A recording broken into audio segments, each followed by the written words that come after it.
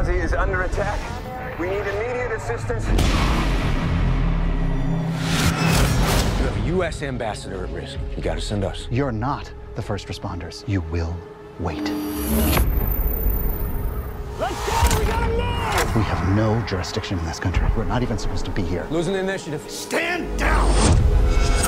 If you do not get here soon, We are all gonna die. None of you have to go. But we are the only help they have.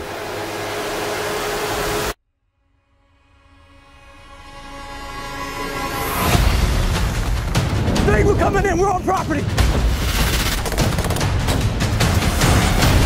On the roof! Don't! We're under heavy fire! Chief.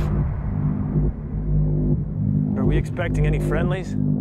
I am not aware of any friendlies. let them come.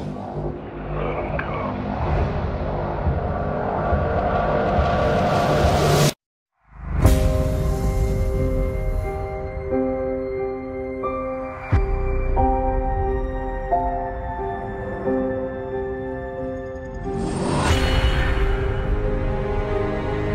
We're gonna unleash hate on these guys.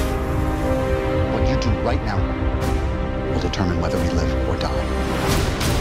As long as I'm doing the right thing, God will take care of me. If you don't send our support, Americans are going to die, including the one talking to you right now. You're not giving orders anymore. You're in my world now. I Haven't thought about my family once tonight.